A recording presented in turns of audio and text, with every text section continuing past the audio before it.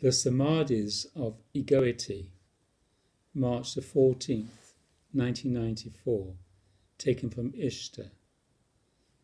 In the way of the heart, conditional existence, meaning conditional forms, objects, the body, the body mind, is not targeted as inherently problematic or negative, therefore as something that must be excluded the ego presumes the problem of existence. The ego principle, the self contraction, the act itself of self contraction, is the reason that any form of objectivity or conductivity is viewed negatively or found to be a problem. Generally, within the traditions of religion and spirituality, the ego principle, the self contraction itself, is not identified and transcended. Rather, sadhana is a struggle with conditions, and the body is regarded to be the problem. Ramana Maharshi, for instance, declared over and over again that the body is to be avoided, as if the body itself were the problem. In the Jain tradition, and very often in the Buddhist tradition, the same point of view appears. The ascetic practice of attempting to deal with conditions by dissociating from them has become part of traditional sadhana. The search in any form is the dramatization of egoity. The ego and not the ego's results, or the things that arise to trouble it, must be found, understood, and transcended. The search to exclude the body mind and the search to fulfill it are the gestures of egoity. The sadhana of the way of the heart is always the practice of locating the ego or the self contraction transcending it in place and realizing that which is always already the case. It is not struggling with the body mind or doing things to it to transform it or evoking certain kinds of experiences in order to realize a res- resultant state or experience that is then called divine or enlightenment or God realization all things that are acquired through the search or the animation of egoity are themselves conditional and dependent on conditional activity. They are not the realization of that which is always already the case. They are the experiencing of something that can only temporarily be the case. If the realization of the sixth stage of life, for example, depends on the exclusion of objects no sixth stage samadhi can be permanent. What is not permanent is not always already the case. Truth is the realization of non separateness, or that which is always already the case. Truth is not the realization or, or experiencing of anything that is arising conditionally or that is brought about by conditional effort or ego effort. When we discuss the religious and spiritual traditions, we are referring to rather advanced notions and prizes of self pleasuring that are associated with the fourth, the fifth, and the sixth stages of life. Yet, when I speak to you, I am speaking to people who are not altogether different from individuals in states of advancement in the great tradition, except that the objects you value are rather mundane. When you are caught up in your objects of self pleasuring, you find them profoundly consoling and, in general, you speak as if you are willing to give up your whole life for them. There is not a profound or absolute difference between what you are doing in your entanglement with the lesser potentials of life in the first three stages of life and what others may be doing with the samadhis and experiences associated with the advanced fourth stage of life, the fifth stage, and the sixth stage of life. The same point of view is exercised in the context of the later stages of life. The objects are different, but the point of view is fundamentally the same. It is the ego, narcissus, the self contraction, finding results in one ob- object or another, and willing to let that object be enough, suggesting the object is enough, suggesting it is the fulfillment of existence, suggesting there is no more to seek, or suggesting a profound most profound sense of consolation. You are in samadhi right now, right now. Not the samadhi of divine self realization, Certainly, but every one of you is in samadhi at this very moment. Every one of you is absorbed in some kind of self pleasuring. And that, without your even saying a word, is your argument for non practice. So if I ask each one of you, or any one of you, what is on your mind? What are you up to? The case talk starts flowing forward, and I hear you describe the objects of your samadhi. Just as fifth stage realizers talk about this blue light, this gold light, that red light, that black light, you talk about the objects of your absorption, and it is you. It is not the divine, it is not the ultimate realization. You think your absorption is happening to you. No, it is you. You are the source of your samadhi. These are your results, your effects. You are all in samadhi right now, distracted by your particular objects of fascination, interest, tendency. It is so. Whenever objects arise, you are separate and you become involved in a profound state of self pleasuring.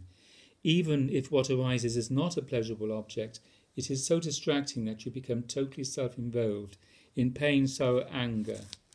Even these states, which are not pleasurable, capture you and enforce a sense of separateness. There are samadhis of pain as well as pleasure. In your ordinary disposition, you are wandering in samadhi, like the traditional yogist saints and sages.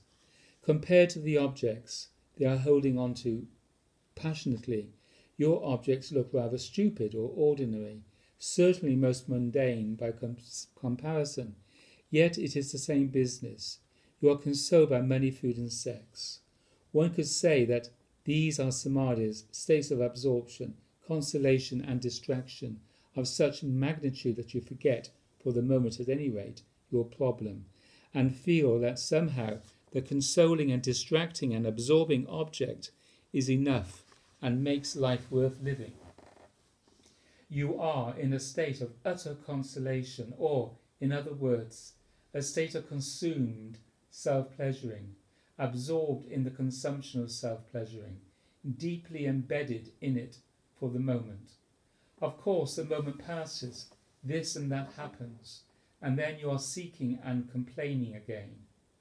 What is the difference between you and somebody who, coming out of some conditional samadhi in the fifth stage of life, complains and wants to struggle to make it happen again. I have been communicating just this criticism during all the years since I formally began my work with everyone 22 years ago. I communicated the same critical disposition in the Knee of Listening. I have always been communicating this criticism to you. Many kinds of experiences and samadhis are valued in the great tradition. The great tradition criticizes the mundane attachments and objects that people choose and by which they are distracted, but not the esoteric ones. From the beginning, I have come to you criticizing the esoteric ones as well. There are no experiences in the context of the first six stages of life, no samadhis, no objects of any kind whatsoever that are most ultimate realization. They are all the dramatizations and the results of egoity. In the scale of the stages of life, yes, some are better than others, fine, but they are about the same thing. As a beginner in the way of the heart, you are ego bound in the context of the first three stages of life, considering my heart word and observing the limitations of egoity. Therefore, you can also observe the traditions and see that they are not doing anything fundamentally different from the ordinary dramatization of egoity. You must do something fundamentally different, not only at the beginning of the way of the heart, but all along, as the signs of the stages of life appear. There is just one principle, one way, one practice, one discipline, one sadhana. It is Ishta Guru Bhakti Yoga in my company. The counter egoic effort transcending the primary fault and entering into the sphere of non separateness. In the great tradition, although disciplines and various kinds of sadhana are usually recommended, the principal practice recommended within any school is concentration in the ultimate ego object that is associated with the stage of life in which the school is based. It is not that these developmental experiences of the body mind are just garbage to be referred to without respect. That is not my opinion, and, I'm, and that is not what I am suggesting to you. But I am indicating that you must most fundamentally understand which is the fault that carries through it through all the first six stages of life. Whatever your present mode of practice of the way of the heart, whatever stage of life is associated with it, there is just one thing to be done, one thing fundamentally to be understood, one practice. Only ultimate realization is to be valued, not by seeking, but by true self understanding and right devotion to me. No phenomenon that must be experienced in the context of the first six stages of life is most perfect realization. None. Examine the stages of life. Examine the great tradition in its display of all the exercises that can be done. You tell me, are there any processes, sadhanas, effects, objects, samadhi states, that are not, as I have just told you, not forms of the ego game? You tell me. Consider it in yourself, in your present focus, in the traditions, if you like. Is what I am saying true or not? Consider it. You cannot be silly, egoically self possessed householders and still realize everything. You talk about the things that console you in the most mundane sense, as if they are great samadhis. They are samadhis of a kind, states of absorption, bizarre ecstasies of egoic self possession, and utter distraction in which nothing else is noticed, like hormonally induced obsessions. All, of mm. all I want to do is have sex and fool around.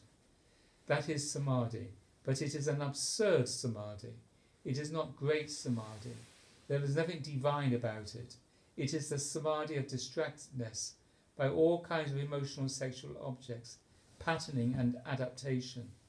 Everything is excluded except the object of obsession, and you feel, this is it, this is good, this is what life is about, and what I should devote myself to. It feels perfectly good. Why should I not just do it?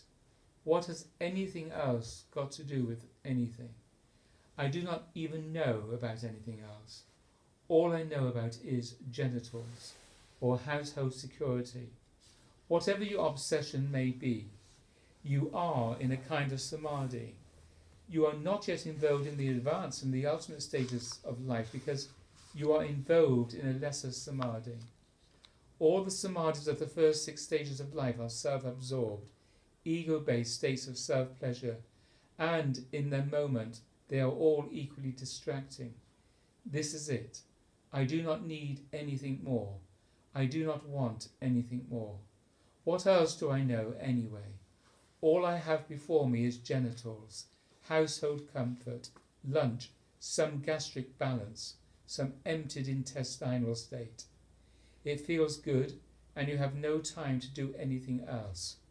Hawk it, hammer on it, repeat it. All this is what you do. When I am talking to people who are still beginners in the way of the heart, nonetheless, I am talking to people in samadhi. I might just as well be talking to people who have experienced fifth stage conditional nirvikalpa samadhi or who are presently involved in savikalpa samadhi and seeing lights. Something jumping up and down, moving around, being bright and distracting, so they cannot think about anything else. It is the same stuff. This is the difficulty with you beginners. You are in samadhi, not the divine samadhi, but one of the other of the samadhis of egoity. In your case, the samadhis of the first three stages of life. Anybody in such samadhi who thinks that everything is fine, who thinks that whatever he or she is distracted by is the goal of life, who is consoled by the object of distraction, and who resists any greater obligation, any greater understanding, any greater practice is a fool. To people who are so called in love, for example, everything but the romantic object is utter garbage all they want to do is the in love thing, the romance thing. and the sex thing associated with it. They cannot see what they are doing. They have no discrimination about it. They have no impulse to understand it or go beyond it. They do not feel it particularly as pain at the moment. They do not know its future, the karma, the result, the tendencies that follow, the mortality with which it is identified. All they know is their present state of self pleasure and consolation, and they think their obsession justifies it. They are enjoying a state of absorption, a kind of samadhi wherein everything is excluded except the distracting object.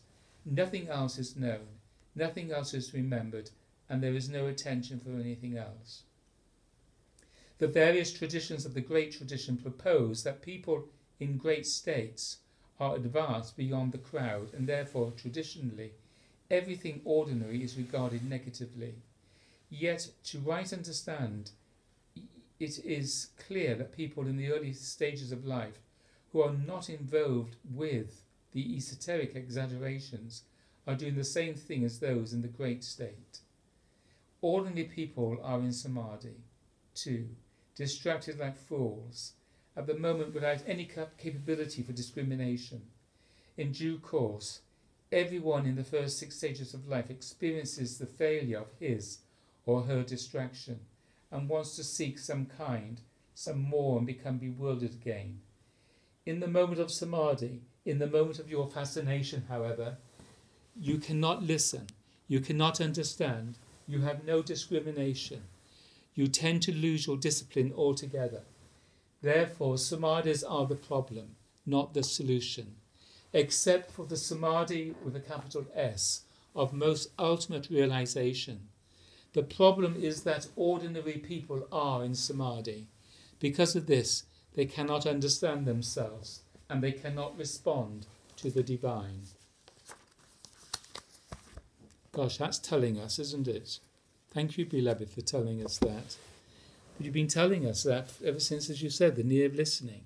So who's who's at fault, the teacher or the devotee? The divine condition is already the case. You're not the only one telling us that. They're your words. Consciousness with a capital C.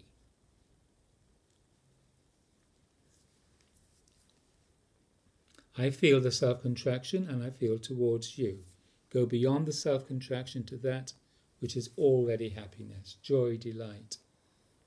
Communion with you is communion with the divine. Feeling the divine which is prior to you, even prior to your bodily human form. Da.